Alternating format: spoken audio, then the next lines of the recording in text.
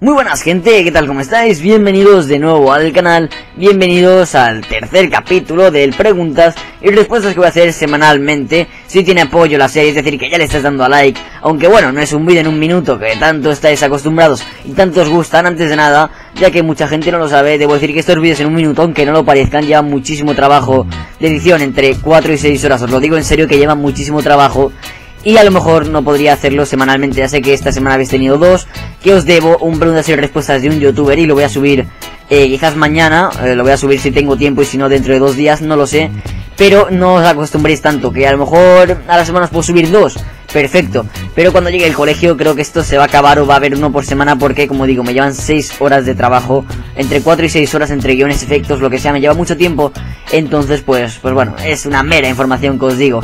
Y bueno, eh, lo segundo, eh, que si os gusta esta serie y me, siempre que me os guste esta serie y me pongáis preguntas en los comentarios, pues yo seguiré haciéndola. Así que bueno, vamos a empezar ya con las preguntas que me enrollo muchísimo. Un Sharma nos pregunta, ¿tienes novia? Y si tienes, ella mira tus vídeos, no tengo novia. Mis amigas miran mis vídeos, pero no, no tengo novia. Skiller HD nos pregunta, ¿vas a hacer promociones? No, Mm, ya hice promociones en su día y, no fueron bien, porque lo que hace hoy todo el mundo en YouTube es coger una partida, una partida buena, comentarla y subirla a YouTube. Y eso a mí no me gusta. Es más, mi canal no se basa en eso. Que luego cuando salga el nuevo Call of Duty a lo mejor lo haga una semana porque me saque una buena partida y la quiera compartir con vosotros, vale. Pero a mí me gusta entretener a la gente eh, con humor y por lo cual no creo que haga promociones. Si alguien me manda un vídeo increíblemente bueno sobre mí, eh, bueno y que no sea una partida, una partidaza, quizás lo promociono, ¿por qué no? Pero tendría que ser un vídeo muy muy bueno. Así que bueno, no creo que haga promociones. Si, si el vídeo es humorístico y bueno, quizás sí, nunca se sabe. Fernando Ochoa Lara nos pregunta, ¿qué opinas sobre los haters XD? Y no sé si lo digo bien. Un saludo de máquina. Haters es con... Ah, haters, con H. Eh, no sé, es gente que da votos negativos y me da igual, siempre que estéis vosotros que le dais like al vídeo, pues tampoco me importa mucho. Eh, sinceramente, los haters cuanto más se notan más cuando empieza un canal, porque claro, cuando empieza uno en un canal a lo mejor te dan 7 likes como mucho. Entonces un dislike o dos fastidia mucho la reputación, la reputación del canal. Pero eh, cuando un canal crece, si me dais por ejemplo 400, 500 likes, que es una verdadera barbaridad, 15 dislikes o 10 pues no se notan, por lo cual siempre que haya gente que te puntúa positivo, los haters, los haters como que no se ven, ni se notan, ni se sienten. Aparte de que, bueno, es gente que puntúa negativo y punto. Igual que la gente le gusta un vídeo, pues hay gente que no le gusta, ya está. Eh, Arnaud Giral nos pregunta, para el próximo, ¿quién prefieres eh, en Call of Duty, Stacks o Willy, o Willy Rex?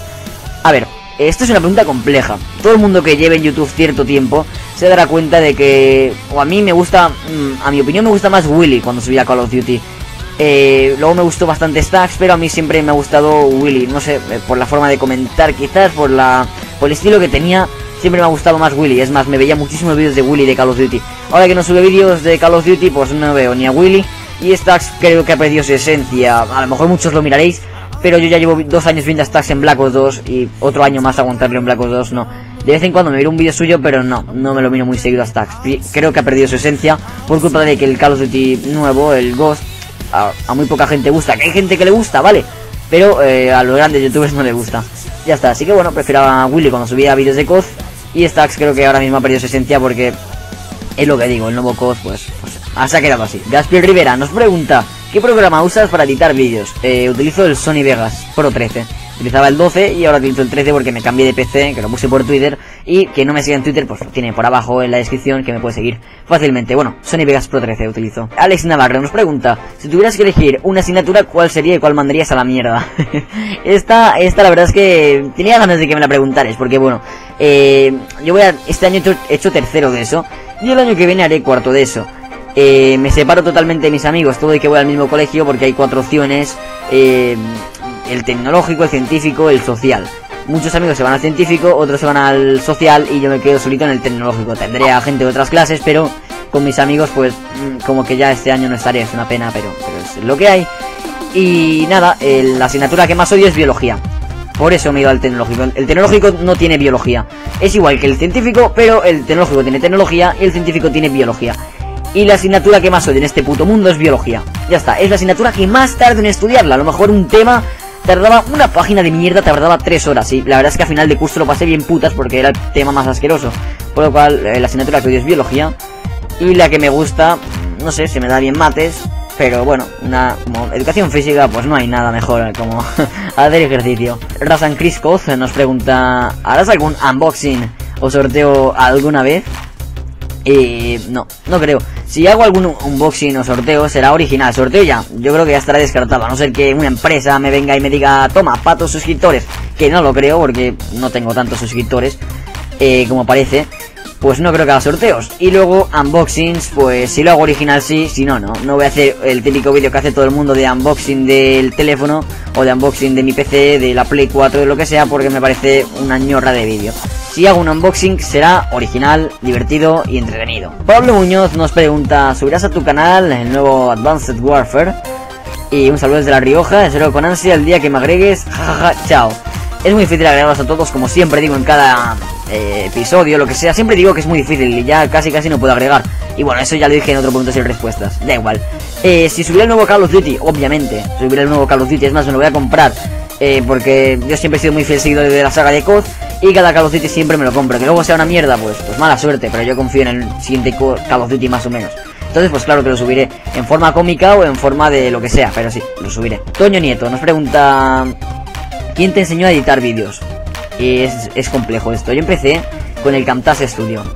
Eh, y la verdad es que en editar vídeos me ayudó mi amigo Sergi, más o menos. Y Baidarkus creo que me ayudó un poquito, no me acuerdo tampoco, pero sí. Yo empecé con el Camtasia Studio. Y la verdad es que era un editor que podías. Era fácil porque podías poner el gameplay, el audio y ya, y no servía para nada más. Era muy simple ese programa.